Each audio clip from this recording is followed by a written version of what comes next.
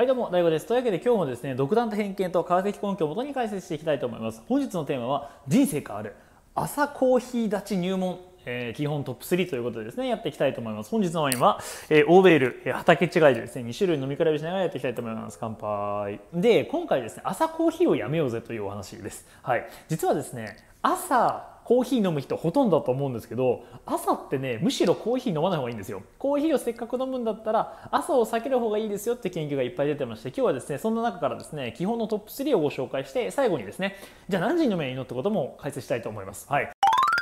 それではやっていきましょう。朝コーヒー立ちの基本、えー、第3位はですね朝コーヒーを飲むと代謝以上疲労 QOL が低下するです。はい。これ実はですね、シェフィールド大学の研究によるとですね、早朝とか朝起きてからすぐコーヒーを飲む人っているんですけど、これ最悪なんだということがですね、研究で出ております。で、人間っていうのは、コルチゾールっていうストレスホルモンなんですけど、これあのタイミングよく分泌されると集中力を上げてくれたりとか活力をですね、作り出してくれるホルモンなんですね。で、このコルチゾールのピークって1日3回あるんですよ。まあ、朝起きた瞬間に1回目のピークがあるんですけどこの1日3回のあるコルチゾールのピークがですね体内時計を調整しているのでここでコーヒーを飲んじゃってカフェインを投入するとこのですねバランスがぶっ壊れちゃうわけなんですよ。実際に研究だと朝起きてからすぐカフェインを取ることによってコーヒーを飲むことによってですねその1日のそのコルチゾールの生成がですね妨害されちゃってで結果リズムができなくなっちゃって朝コーヒーを飲むとですね人生の質クオリティオブライフが低下したりとか疲れを感じやすくなったりとか代謝の異常が起きて痩せづらくなっちゃったりとか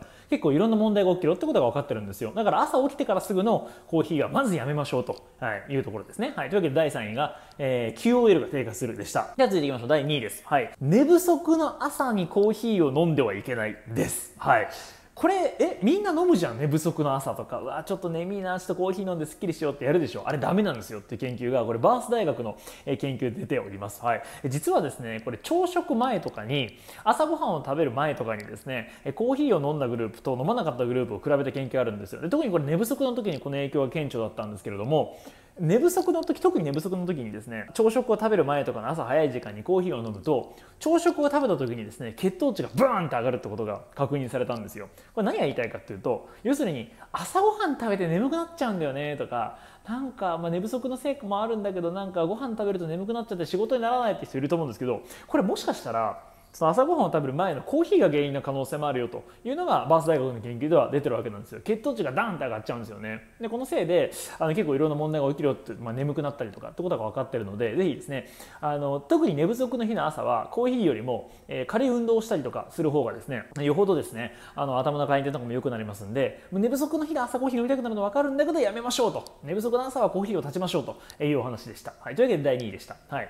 そして、えー、堂々の、えー、朝コーヒーたちの基本、えー、トップ3の第1位はですねなんと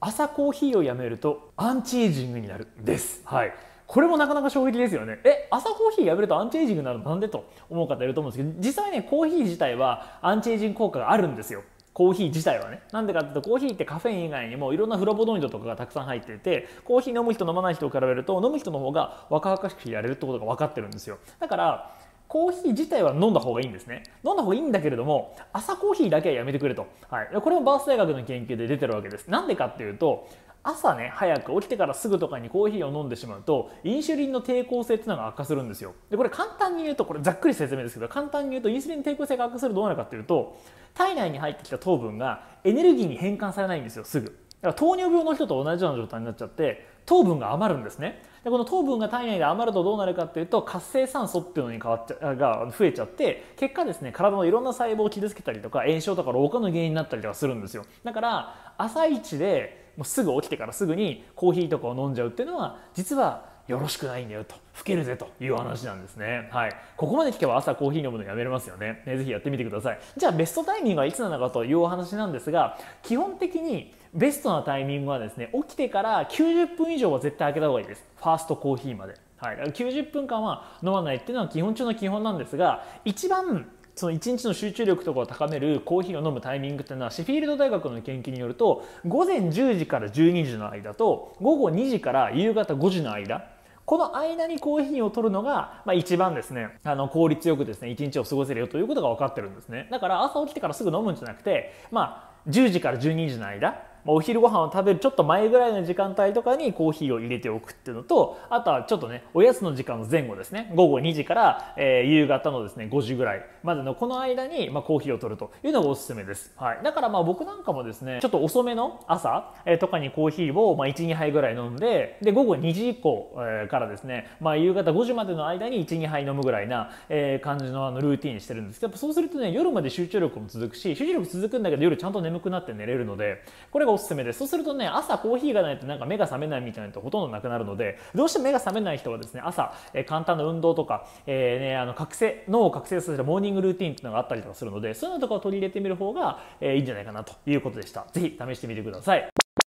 まとはいえねやっぱりこの朝の行動ってすごい大事で実はねこのモーニングルーティンが決まってない。あるいは普段やってるモーニングルーティンをですねやらなかった日がですね、えー、あるとどうなるかというとそれだけで1日の生産性がだだ下がりするんですよ。なんでかっていうと人間の脳って朝はあんま起きてないですよね。だから朝は余計なこと考えないで習慣的にね毎日やってることをやっている方が実は頭の回転は良くなるんですよ。その脳のそのエネルギーが節約されるので。だからねモーニングルーティンをちゃんと設計するってことが一日をですねこれ一番うまく使うための方法としては超重要なんですよ。そんなですね最強のモーニングルーティンの作り方などはですね概要欄コメント欄の方からですねぜひですね D ラボの方登録していただくと見れるようになってますのでぜひ D ラボ見てみてください、まあ、D ラボはね本1冊分ぐらいのですね月々本1冊にも満たないぐらいの金金額でもうほんのもう何千冊ものですね、まあ、本のですね知識がですね、まあ、動画とか、えー、音声とかで効率よく学べるっていうのをテーマにしてやってますのでぜひですね概要欄コメント欄の方からですね最強の朝を作りたい方はですねぜひ、えー、D ラボ登録してみてください。それでは、えー、続き概要欄コメント欄の方から D ラボでお待ちしてます。バイバーイ。